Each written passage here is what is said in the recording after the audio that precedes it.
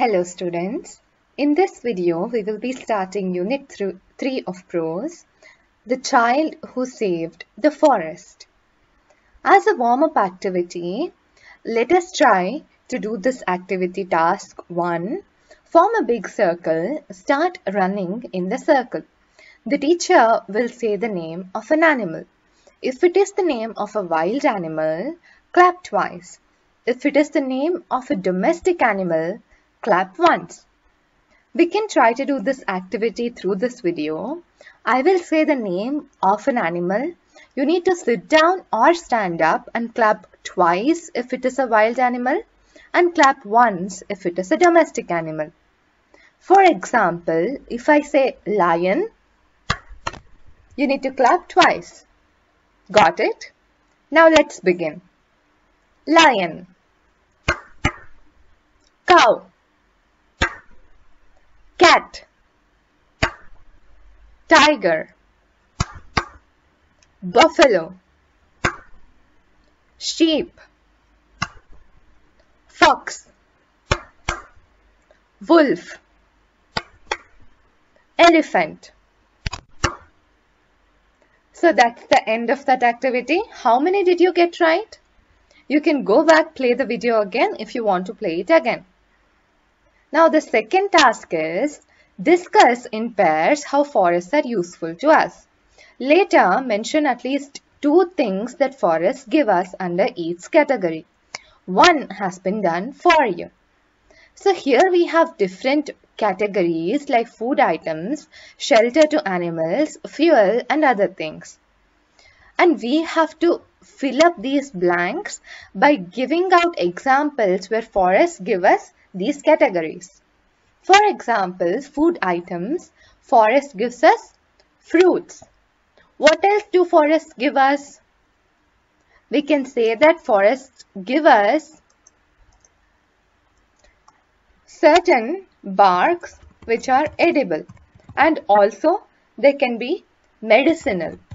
So forests, they give us some food materials that are not just edible but also some of them are medicinal in use. Now what else do forests give us that can be classified as food?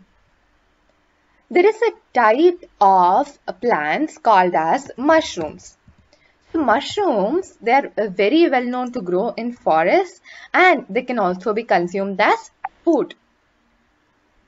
So forests, they give us barks which are medicinal and mushrooms. Next, shelter to animals. So where and all in the forest can animals take shelter? Animals can live in den. For example, wild animals like lions and bears, they are known to live in caves. Forest also has a large number of trees and trees are homes for varieties of animals. Animals which live in trees, they are called as so arboreal animals are those animals which live in trees. You may have known that monkeys and birds are two such animals which spend most of their time in trees. Another such example you can see here are koalas. Koalas are primarily found in Australia and they are also arboreal animals. So monkeys as we know they are arboreal. Next we have uh, many types of lizards including chameleons which also live in trees and we also have tree squirrels. All these are examples of animals which live in trees. So coming back to our lesson, a forest provides shelter to animals with their dense trees and where is another place where animals majorly live in forests? There are many answers to this question but for now let us take the example of lakes. Forests have many lakes inside them and lakes are homes for different organisms including fish and different types of plant animals. Next we have fuel and other things. So fuel, for example, we get firewood from forests. What else can we get from forests? Another natural resource that we get from forest is oxygen. So oxygen we get from forests because trees produce oxygen. What else do we get from forests is forests are essential for so forests are needed for maintaining a balance in the water cycle so that rain happens in time and we get sufficient rainfall. So these are the things that forests give us. Now we have completed both the tasks. Let us start with the story. The story is about Prem. Prem lived with his parents in a small village near Bandipur forest. Bandipur forest is a national park in Karnataka. So here is an image that is uh, a photograph that is taken in Bandipur forest. So Prem, he is a little boy who lived with his parents in a village near Bandipur forest. Where did Prem and his parents live? They lived in a small village near Bandipur forest. He had the good habit of taking an evening walk in the forest. So taking walks is good for your health as you get exercise and fresh air. After some days, he became friendly with the animals and birds in the forest. So Prem, our friend, he lived in, near a forest and he had a very good habit of going on walks. As he went to walks frequently, he used to meet animals and birds and soon he became friendly with the animals and birds of the forest. One day, he came from school looking sad. His mother asked, What is the matter, Prem? So one day, our friend Prem, he is sad. Why is he sad? Let's find out. His mother asks him, What is the matter? So whenever you're sad, your friends and family, they will get to know immediately. Here, Prem's mother gets to know and she is asking him the, what the matter is. He replied, Ma, I have heard that many trees in the forest will be cut down. Where will the animals and birds go if the trees are cut? So the reason why Prem is sad is because he has heard somewhere in his school that many trees in the forest are going to be cut down. Now the reason why he is worried is if the trees are cut down, where will his friends that is the animals and birds go? So we just learned that forests provide shelter to numerous plants and animals and birds. So if we go on cutting down the trees, those animals and birds, they will become homeless. So where will the birds and animals go if we go on cutting down the forest? This is why Prem is sad. He is worried about his friends. Here we can see a picture. This is Prem and he is in the forest, maybe on one of his evening walks. And you can see all the animals and birds who are friendly with him. Go on, take some time and try to name all these animals and birds. Next, his mother knew that Prem loved trees, birds, animals and flowers. So, she said, why don't you go to the forest with your friend Nesreen? Find out what has happened exactly. So, like all our parents, his mother knows just what advice to give Prem. She says, go to the forest with your friend Nesreen. Before you worry about this more, try to find more information. So this is a very good advice whenever you are worried about something. What you need to do is make sure you get the help of someone who's close to you and try to find out more about whatever it is you're worried about. So his mother is suggesting him to go to the forest with his friend and find out what exactly has happened. Prem took his friend Nesreen with him to the forest. They walked to their most favorite place in the forest. So Prem and his friend Nesreen, both of them, they go to the forest. And where do they go? They go to their most favorite place in the forest.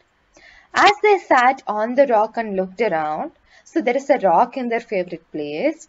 As they're sitting there, Hira, the deer, came sprinting towards them. So Hira is the name of the deer. Prem and his friend, they have named the deer. Maybe they have named the other animals also, but the name of the deer is Hira. So Hira the deer, it came sprinting towards them.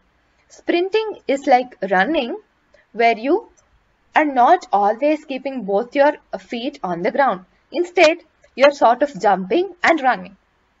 So the deer, it came sprinting towards them.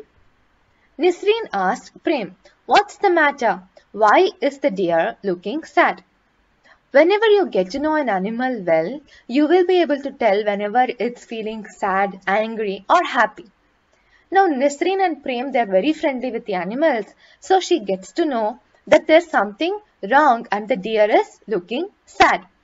So she is asking Prem, what's the matter? Prem replied that the trees in the forest would soon be cut down.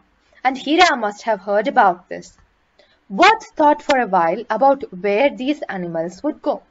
So Prem thinks that Hira is Hira has heard somewhere that the trees are going to be cut down, which is why the deer is sad. So now both Nisreen and Prem, they are thinking for a while about what to do. After they have gotten to know the information, the next thing to do is make a plan. Okay? Then Prem looked at Nisreen and asked, How can we stop the cutting down of trees? Nisreen replied, We will approach the authorities concerned to stop the cutting down of trees.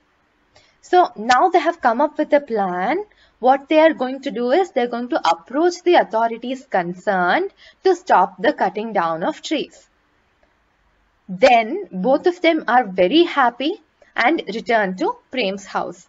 So both of them, they became happy and they're satisfied with the plan. So they return to Prem's house. Here we can see Prem, Hira the deer and his friend Nasreen. Prem told his mother about their plan. Prem asked his mother, but who shall we complain to? Now they both know what to do, but they don't know who to complain to. So Prem is taking the help of an elder, that is his mother, and he's asking her, But who shall we complain to? Mother replied, Of course, to the president of Grama Sabha. So Grama Sabha of their village is a local government body which is elected. Okay. So all the people in the village, they come together and they elect their Grama Sabha and the Grama Sabha is concerned with local governing matters. So mother suggests to Prem to write to the president of Grama Sabha. And then Prem wrote a letter to the president of Grama Sabha and requested his parents and their friends to sign on it. So what Prem is doing is that he is submitting a petition. So this is the new word for you all, petition. Petition is a request that is submitted to a government body and a petition is usually signed by a number of people suggesting that whatever the matter at hand is, it has the support of all those people. So Prem, instead of going alone with his friend Nasreen, what they decide to do is they decide to get the help of their parents and friends. This shows that the matter has support of the general public. So they got all their parents and friends to sign the petition and they also took the signatures of the people in the local community and those residing in nearby villages. So there's another word that I want to introduce to you all and that is the word stakeholder. So stakeholder is generally used in a business context. It refers to the person who shares in the profits and losses of any business endeavor. But in our case, in nature, whatever happens, we are all the stakeholders. If there's, there's something good that is happening in nature, we will reap the benefits. If there is something bad happening in nature because of, of human-made effects, then we will share the losses. In this case, what Prem did is he went to all the stakeholders who would get affected if the trees were cut down. So who does get affected if the trees are cut down is people who are surrounding the forest. So he took all their signatures. He took the signatures of the local community and those residing in nearby villages. We can consider them all to be stakeholders. And Prem sent a letter to the president of Grama Sabha. Very soon he got a reply from the president of Grama Sabha. So he sent the letter requesting to stop the cutting down of trees. He took the support from the local community and he also got a reply. Let us see what the president has replied. Dear Prem, we are happy about the love you have shown towards nature. Your request for not cutting down the trees in the forest has been accepted. We have decided not to cut down the trees in the forest. Now, the plants, animals and birds will be safe. So Prem is very lucky because he got a very positive reply saying that they are very happy about the concern he has for nature and they have accepted his request to not cut down the trees. So while it may not always be the case that we get a positive response in our first trial, the important thing to do is that we do not give up. If Prem and his friend Nisreen had given up in the beginning, then they would not have been able to stop the trees from being cut down. Now because they uh, tried and tried and got help from their friends and family, they were successful and the trees, animals and birds were safe. You may be, you may give this good news to all your friends and villagers. So this is the format of the letter. It starts with the greeting, Dear Prem, and it ends with a salutation saying, Yours sincerely, Srimati Rukmini Ramaya, President of Grama Sabha. So the President, she has replied and she has given the good news. That evening, Prem went back to the village and assured the villagers that nothing would happen to the forest and the animals. So, he is doing a responsible thing here. That is only when he needed the help, he did not go to them. He is also going to them when there is good news to share. So, he is assuring all the stakeholders that the forest is safe. That is the end of the story. Let us consider the words to know. The first word is sprinting, that is running very fast. So here are the deer. It ran towards Prem and his friend Nisreen. Authority. Authority are people who have power. In this case, the Grama Sabha was the concerned authority. Complain. Complain is to express dissatisfaction about something. So Prem complained about the deforestation that was about to happen. Delighted. Delighted is to be very happy. The next word is appreciate. Appreciate is to praise. So try to find out where in the lesson you have seen all these words. That way you will get example situations and context to use the words. Now let us try to answer the first vocabulary section. V1. Find one word for each of the following from the lesson. So to answer this, we need to go through the lesson and try to find one word that have these descriptions. The first one is a place where wild animals live. So this should be an easy solution for you all. What do we call the place where all the wild animals live? The answer is forest. The next question is a thing or person liked very much. So there are two possible solutions for this question.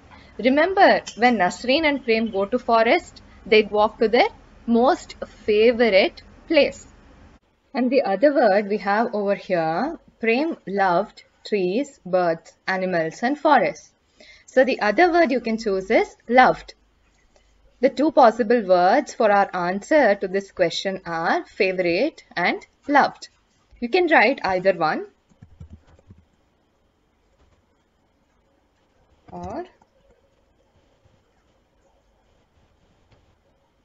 okay so these are the words for question number two the next phrase you need to find a word for is to come back.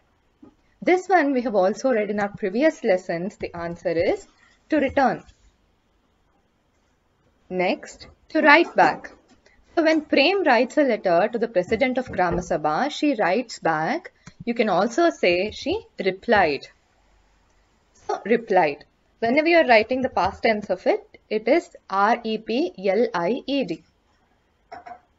Finally, you need to find a word for where there is no danger.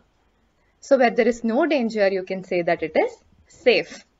where did we uh, find this word in the lesson is the vice the president says that the plants, animals and birds will be safe. Safe is out of danger. So that is the end of V1. Now let us try V2. To find the answer to V2, we need to rearrange the letters to get names of different trees.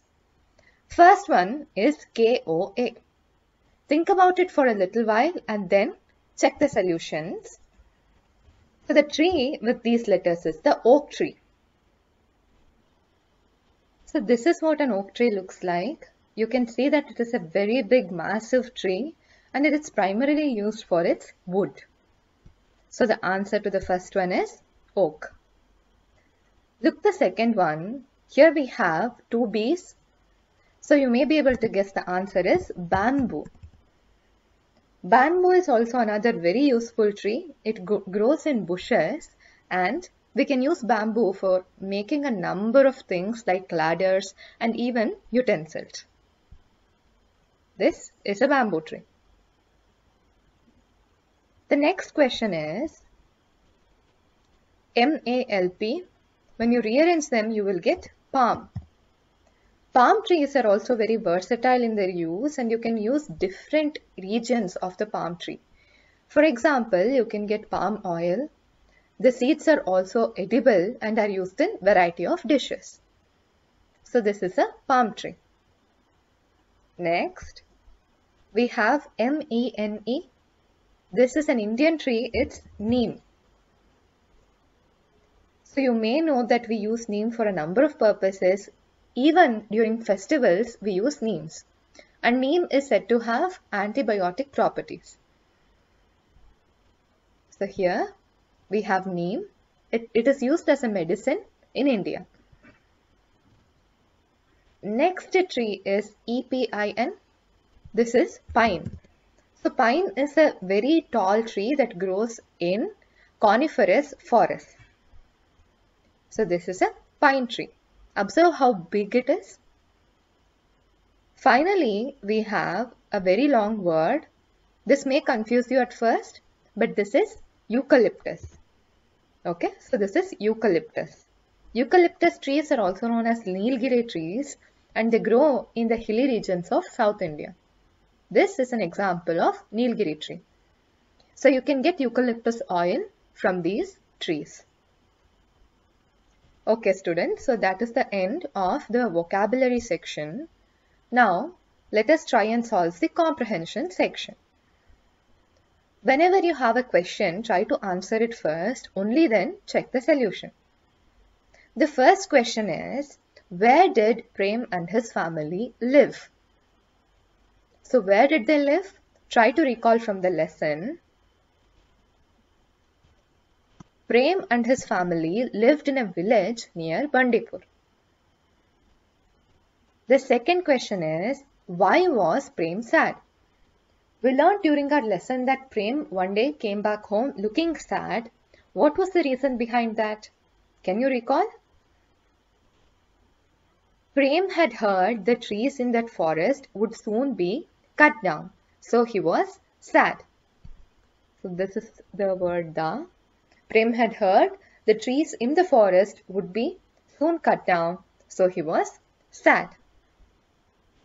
Next question is, what did Prem and his friend Nasreen do to solve the problem? So what did they do? If you can recall, they go to the forest and they meet the deer and they get to know that animals are sad because the trees are going to be cut down. Then what did they do? Prem and Nisreen approached the authorities concerned to stop the cutting down of trees. So their plan was to talk to the authorities concerned to stop the cutting down of trees. The next question is, whom did they write the letter to? So now that they have decided to stop the cutting down of trees by letter, sending a letter to the authorities, whom did they send the letter to? Prem's mother helped, helped him out, out in this one so, Prem wrote the letter to the president of Grama Sabha. They wrote the letter to the president of Grama Sabha. And what was the complaint about? The complaint was about the trees in the forest that were to be cut down. So this was what the complaint was about. Next, who signed the complaint? So we talked about this when I introduced the word stakeholders to all of you. So the people that would get affected once the forest was cut down signed the complaint. Who were those people?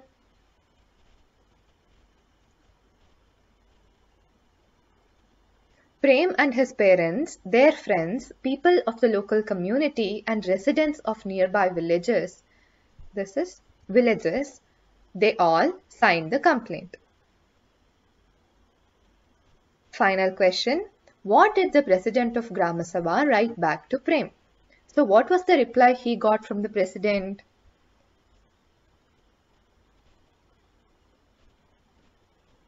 The president of Grama Sabha wrote back that Prem's request for not cutting down trees in the forest had been accepted. So she writes back to him and says that his request to save the trees has been accepted. Now, let us move on to C2. Discuss with your friends and answer the following questions in 4 to 6 sentences each. First one, describe Prem's love for the forest and the animals. So as usual, try to recall point by point and then form a complete answer out of it. You can pause the video and then replay it if you want. The answer that I am giving is, here we go. Prem lived with his parents in a small village near Bandipur forest. He had the good habit of taking an evening walk in the forest. He became friendly with the animals and birds in the forest. When he heard that many trees in the forest would be cut down, he became sad and worried about the plants and animals. He was able to understand the feelings of Hira the deer when it was sad. And because of his love for animals, Prem complained to the authorities and got them to stop cutting down, stop the cutting down of forest trees. So if you all feel like this is too long, you can do one thing. You can cut short these two sentences and you can just form an answer from here. You can say Prem was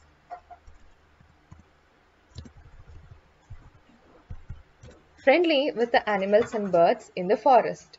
Okay, so you can have an answer, a complete answer that is this much. Now let us look at the second question. How did the president of Grama Sabha praise Prem?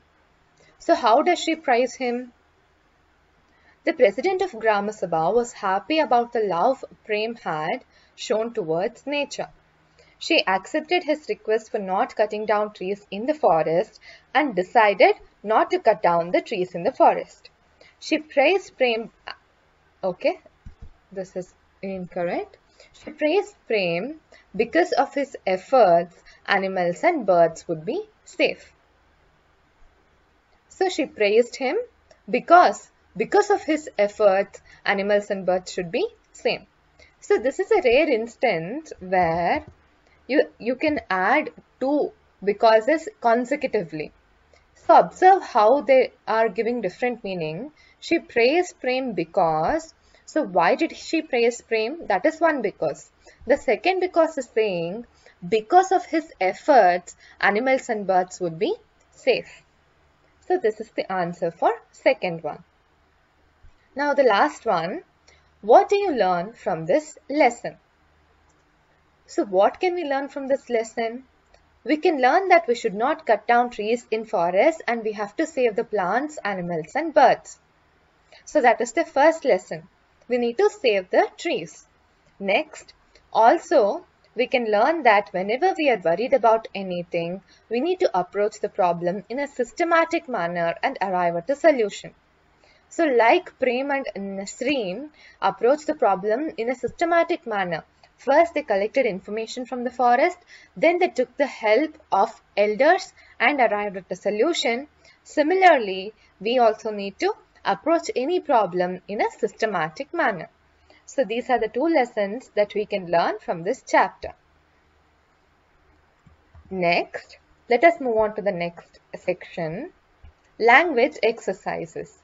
Give the plural form of the following words.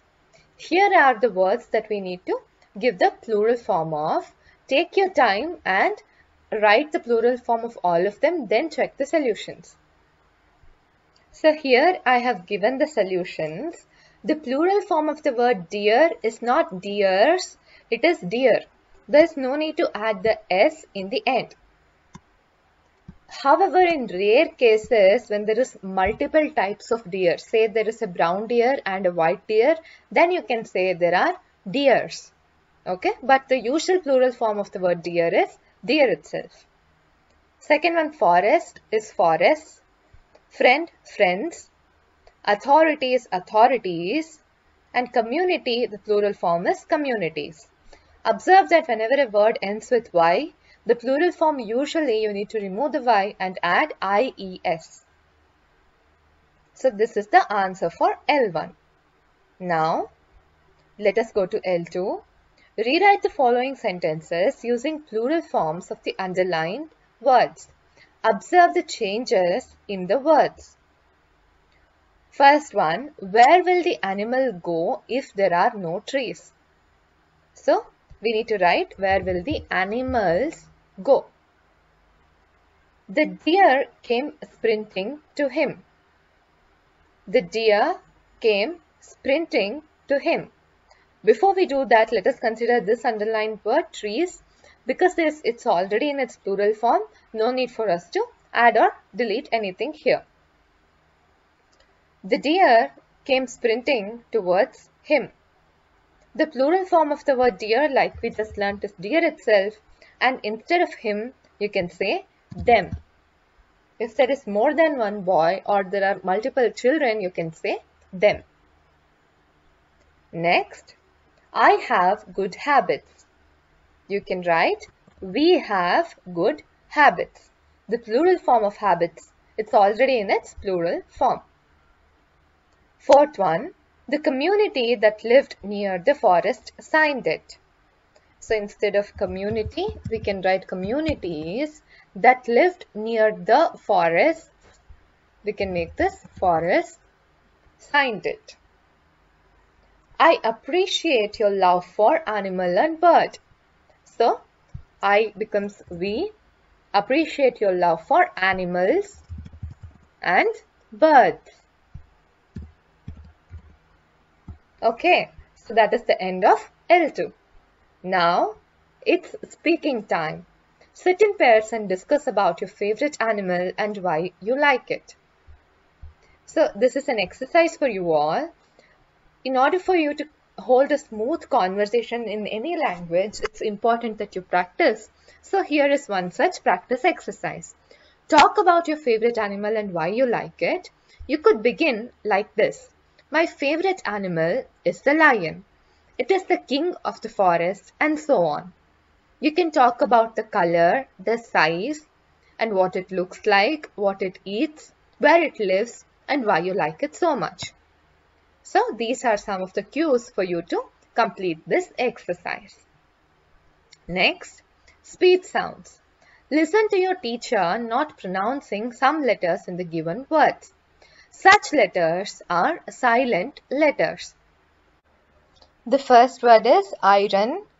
The way you pronounce it is, it's not iron, it's iron. Okay, it's iron. R is silent here. Next is should. Observe that we don't say should. So L is silent. Similarly, it's could and would. Again, L is silent in both of these words. Next, we have know we don't say we don't say k here we don't say now. It's know. So the k is silent here. Then it's knife knee. Both of these have silent k's. Finally it's comb the b is silent. Whenever word is ending with mb usually the b is silent. Which letters are not pronounced in the above list of words? So we have already um, circled around the letters that are not pronounced. List some more words that have silent letters in them. So try to make a list of some more words which have silent letters. Let me just give you a couple of examples. Here we have honest. The H, the beginning H is silent. It's honest. Another word is crumb. Because it ends with MB, the B is silent. It's crumb. Similarly, you can find out more words and add on to this list. Okay students, this is the end of the lesson, The Boy Who Saved the Forest. I will see you all in the next video.